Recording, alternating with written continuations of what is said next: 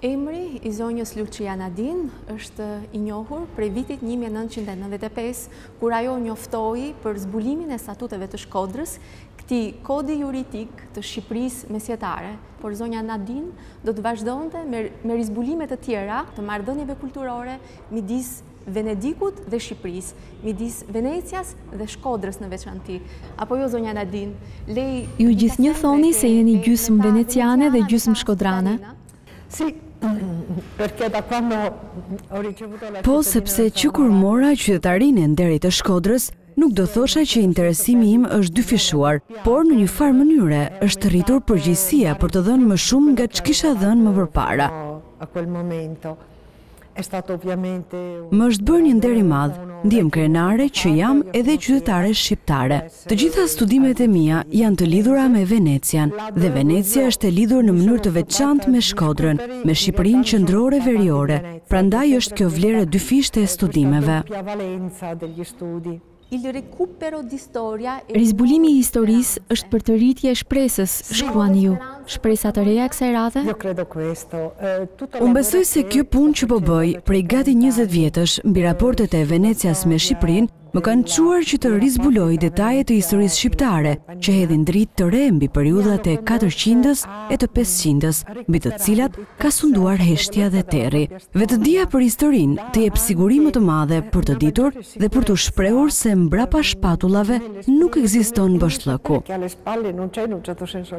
Mendoj se një qyteti si Shkodra me histori madhështore në shekuj i duhet ripërshkuar ajo histori për të gjetur gurë mozaiku që plotësojnë pastaj historinë e Shqipërisë. Është si ta them si të marrësh frymë dhe ta kthesh në energji. Unë këtë e kam quajtur shpresë, sidomos për të rinjtë, sepse shumë të rinj që kam takuar në emigrim në Itali kishin prirjen që ta fshinin origjinën e tyre. U thosha që ata kanë arsye për të qenë krenarë sepse ka ekzistuar Epiri, historia e lashtësisë, pastaj mesjeta shqiptare, duhet vetëm që kjo krenari të kalojë përmes njohurisë. Studimi dhe rizbulimi që nuk ushqejnë pseudokrenaritë e pathemelta, bëhen shpresë për të ndërtuar jo vetëm brenda dijes historike, por edhe në një kuptim më të gjerë.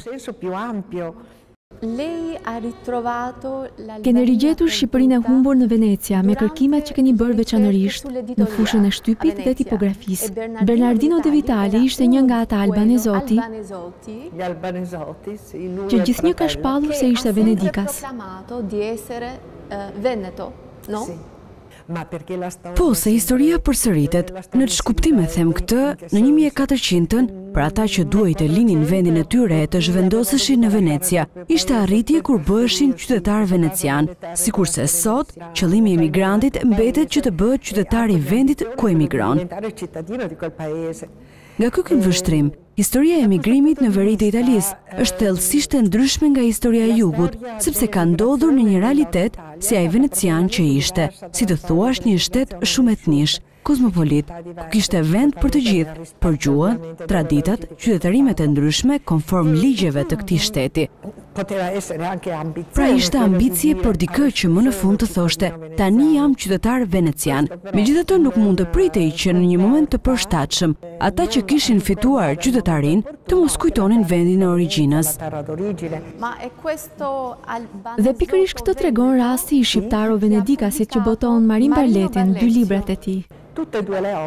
Po, të dy veprat e Barletit, është domethënëse që si botues, Ai ishte brenda gjithë botës kulturore të editorisë veneciane të kohës, ku vepronin personalitete si Girolamo Donà, për shembull humanist i madh, patric venecian, mbështetës i madh i kulturës.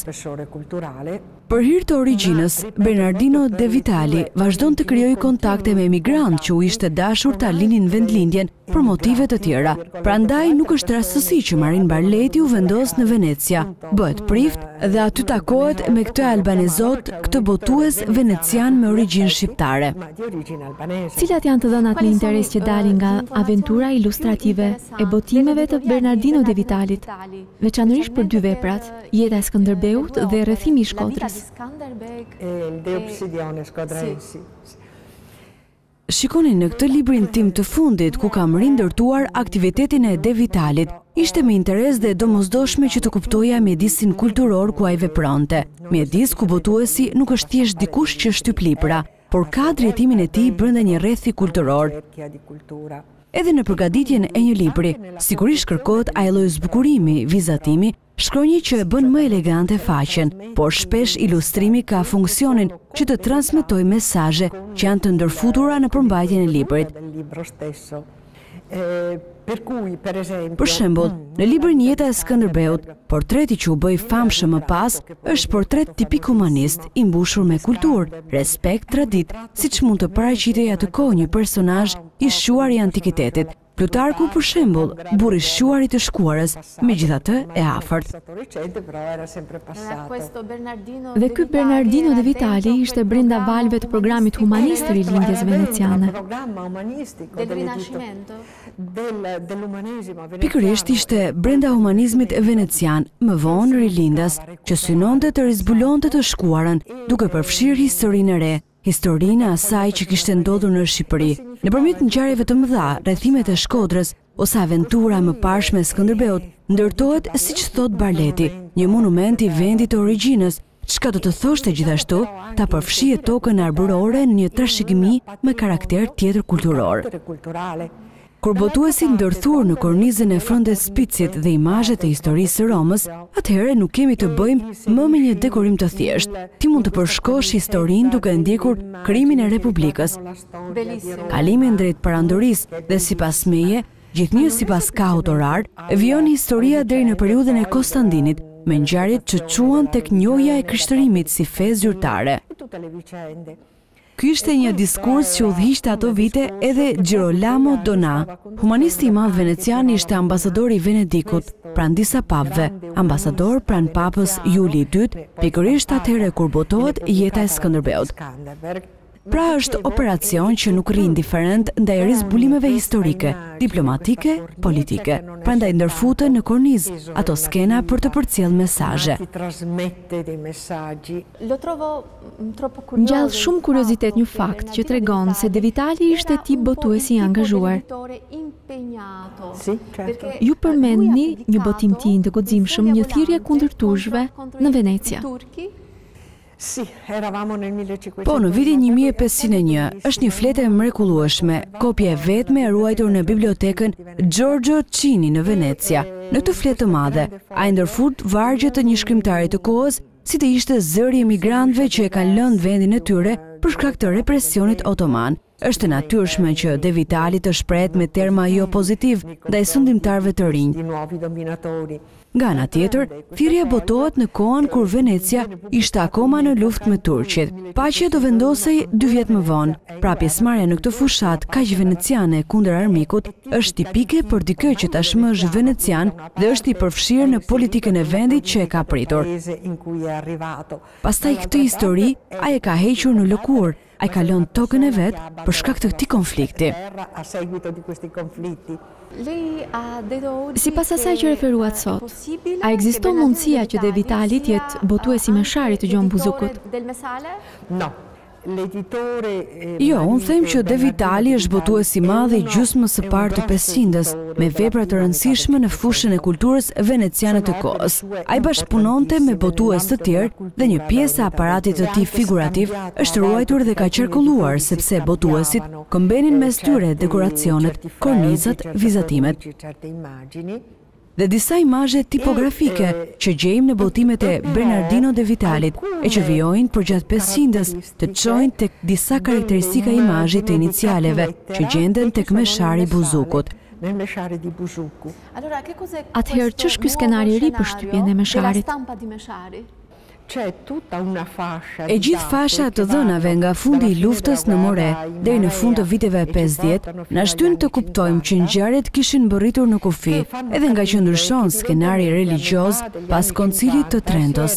Urdhrat e ardhshëm nga ana e Romës për një tregues të librave të ndaluar, e sidomos ndalimi i botimit të veprave fetare që nuk janë në gjuhën latine. Kështu që ky mund të ishte rasti i fundit për ta pajisur botën shqiptare në mërgim me një instrument gjuhësor që do t'i kujtonte tokën e rrënjëve të origjinës. Do të thotë pra që Meshari i Buzukut nuk mbin si lule në shkretëtirë që shfaqet rastësisht e papritur në vitin 1555. Jo.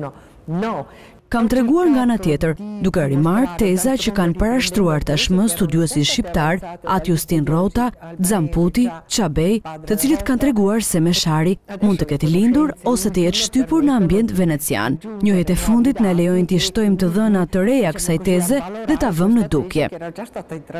Mendohet se njihet gjithçka për arbëreshët dhe për emigracionin në jug, Por nuk dihej asgjë për shqiptarët që u bënë venecianë. Kjo ka qenë puna ime e njëzet viteve që fillon me zbulimin e statuteve e mandej me studimin e emigrimit dhe integrimit. Por ju lutem, unë kam rimarrë studimet klasike të Dyselies dhe studiuesve të tjerë që do të thotë se nuk kam bërë gjithçka ex novo. Megjithatë, i gjithë dokumentacioni i imtë në bibliotekat e Venecias më kanë krijuar mundësinë që të rindërtoj një skenar të tërë për të kuptuar më mirë rastin Buzuku. Një pyetje për Mesharin digjital shkas për të cilin u bë ardhja e Papa Françeskut, ç'vlerë ka një kopje e tillë për studiuesin? Ma veda eh, një riprodhim dixhital i Mesharit është i domosdoshëm për studiuesit, sepse do të thotë jo njëlloj, por pothuajse si të kesh origjinalin në dorë, i cili ekziston si kopje unikale në botë. Prandaj është themeli i gjuhës suaj. Të njëjtën gjë kam përsëritur edhe unë prej vitesh. Ju lutem, bëni një riprodhim dixhital të statuteve të Shkodrës, që ashtu si dhe Meshari, ekzistojnë vetëm në një kopje. Faleminderit për mesazhin, për kërkesën. Unë i kam transkriptuar statutet. Nuk janë kush e di sa, dyzet faqe, por tjetër gjë është të merresh me materialin, me fletët, të kuptosh, të studiosh deri përdorimin e ngjyrës dhe krejt tjetër gjë është për dikë që nuk mund t'i marrë në dorë dorëshkrimet me erën e pesëqindës. Aventurë ku s'mund të të çojë asnjë riprodhim dixhital. Është e rëndësishme që radhë për radhë, pikë për pikë, të mund të studiohet teksti. Është e lodhshme sepse studimi është durim dhe rindërtim, Askush nuk të dhuron asgjë. Mund të të japë dikush një drejtim më shumë se një tjetër, por pastaj duhet të punosh. Zonja Nadin, Shqipëria e rigjetur është antikuar për ne, edhe për portretin e artistëve si Pal Kamsi. Keni zbuluar veprën e këtij skulptori që është një mrekulli. È una meraviglia, la sua opera. Është një mrekulli, Pal Kampsi është quajtur gjithnjë venecian sepse kishte lindur në Venecia. Ja ku dalim sërish te diskutimi për peshën që ka studimi i emigracionit në Venecia. Vetëm duke kërkuar në arkivat e familjes së nënës Menega Batotit, dhe duke gjetur një akt pagese të të atit Aleks Kamsës, i cili kishte prona në Shkodër dhe kishte qenë skulptor atje, kupton se fjala është për një brez të ri, i lindur në Venecia, që të jep mundësi dhe shpresë, ndaj them, rizbulimi i së shkuarës është për të rritje e shpresës, shpresës për të rizbuluar një farë portreti të Shqipërisë mesjetare që e kemi humbur, Shqipërinë e shumë kishave me vepra arti, Po flas për Shqipërinë katolike të veriut. Ju shkruani diku për tokën martire, atë tokë martire që kishte pas qenë barrikadë e krishterë kundër pushtuesit turk. Po të lexosh Marin Barletin, që është marrë në konsideratë pjesërisht, po të lexosh kronikat veneciane dhe literaturën mbi këtë periudhë, me të drejtë mund të flasësh për tokë martire. Sepse Arbëria ishte një tokë kufitare që ka shërbyer si barrikadë për Evropën, në interes të saj, në interes të papatit, në këndvështrimin religjioz dhe në interesin ekonomik e tregtar të Venecias. Megjithë rolin e dalluar të Shqipërisë, mbi të janë derdhur përplasjet e mëdha të katërqindës, s'mund të ishte ndryshe. Marin Barleti nuk flet fjalë për fjalë për tokë martire, i mërguar në tokën veneciane, ai shkruan një fjali shumë të bukur, e cila më emocionon gjithnjë. Io mi commovo sempre di fronte a questa frase perché dice sembra quasi incredibile che noi Duket gati e pabesueshme që ia mbërritëm ditës të jemi një hiç, të jemi llumi i njerëzimit, ne që ishim madhështorë u gjendëm në dhe të huaj, u bëmë papritër emigrantë. Siamo diventati, ecco, emigranti. Kjo më ka prekur sepse flitet për Shqipërinë, por mund t'i përkasë cilitdo vend në momente të tjera historike, kudo ku ekziston vuajtja e njerëzve që u është dashur të braktisin atdheun. Dhe ja, sot historia përsëritet në skenarë të tjerë, jemi përballë tragjedive të njerëzimit dhe të historisë. e devastorja. Mendoni se Pal Kamsi ka trashëguar në veprat e tij atë kult të zonjës së Shkodrës që morën emigrantët me vete kur lanë qytetin? Madonat e tij janë të mrekullueshme. Ai punonte në dru, ishte skulptor i drurit. Për fat të keq, shumë vepra të Pal Kamsës, statuja dhe altarë kanë humbur në rrjedhën e kohës. Dimë për shembull që në prapatokën veneciane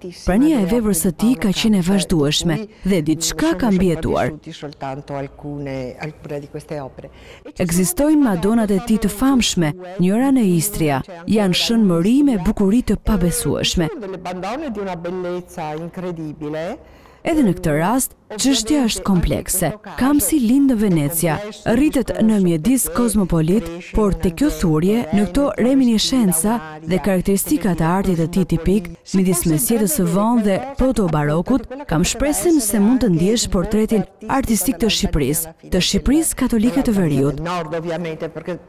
Ndërkohë që Shqipëria e Jugut e ka shumë mirë të ruajtur artin figurativ të realitetit greko-ortodoks në gjithë traditën ikonografike, ndërsa me Shkodrën kjo traditë për Shqipërinë e Veriut është zhdukur. Disa tekste teatrale për Skënderbeun është informacioni i fundit që na dhatë sot. Po punoj akoma mbi këtë temë, pas gjashtë muajsh do kemi më shumë informacion. Mund t'ju them që jam duke nxjerrë në dritë praninë e Skënderbeut në Teatrin Venecian të Shtatëqindës. Qysh në vitet njëzet, figura e Skënderbeut, jeta e tij imagjinohet në muzikë nga Vivaldi.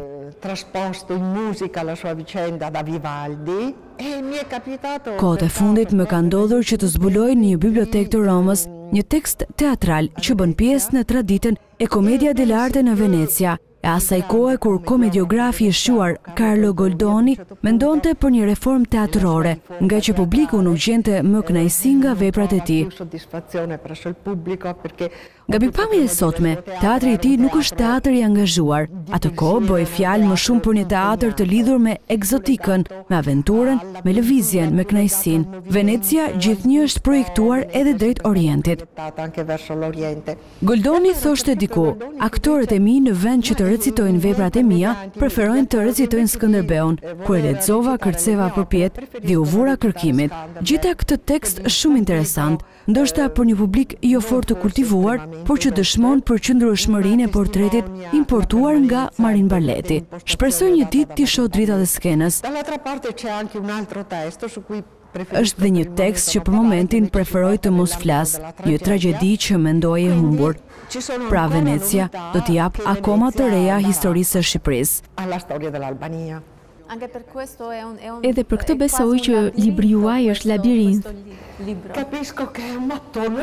E di që është si tullë, kur një libër është i rëndë për t'u lexuar thuhet që është i rëndë tullë. E kuptoj që janë tulla ato që shkruaj unë, sepse unë kam ankthin për të thënë që këto dokumente ekzistojnë. Ky është rindërtim. E mbase pas njëzet vjetësh, dikush do niset nga ai dokument, nga ajo datë specifike dhe prej andej do shtyhet përpara historia. Siç po thosha për studimet mbi Mesharin, që rrinë ndalur për njëzet, tridhjetë vjet dhe pastaj rifillojnë nga një gur mozaiku për të ndërtuar tërë figurën. Kështu bëhet kërkimi.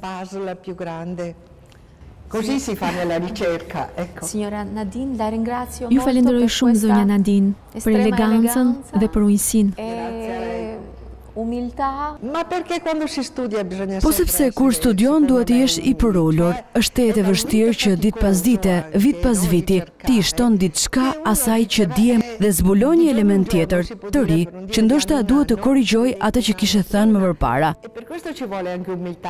Edhe për këtë duhet përunjësi, sepse askush, sidomos unë, që gjendem në botën e një vendi tjetër, nuk mund të mendojë e të thotë, kjo është e vërteta. Jo, nuk është kështu. Grazie ancora. Grazie a lei.